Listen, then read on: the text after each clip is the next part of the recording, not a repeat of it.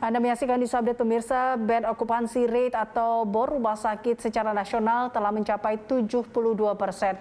Atas tingginya bor nasional ini, Menteri Kesehatan Budi Gunadi Sadikin menyarankan pasien COVID-19 tanpa komorbid untuk isolasi mandiri di rumah.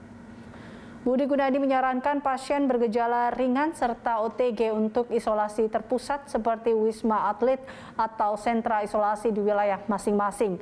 Artinya bagi pasien COVID-19 tanpa komorbid serta saluran nafas sehat tak perlu isolasi di rumah sakit.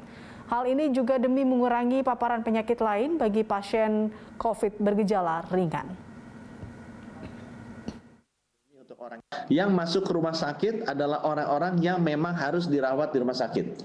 Jadi masyarakat tidak usah panik. Ini teman-teman media tolong sampaikan, kalau tidak ada sesak nafas, kalau saturasi oksigennya masih di atas 95%, kalau tidak ada komorbid, lebih baik dirawat di rumah kalau dia positif. Atau dirawat di isolasi terpusat seperti Wisma Atlet. Karena kalau mereka masuk rumah sakit malah terekspos dengan load virus yang tinggi di rumah sakit. Dan biarkan rumah sakit dipakai untuk tempat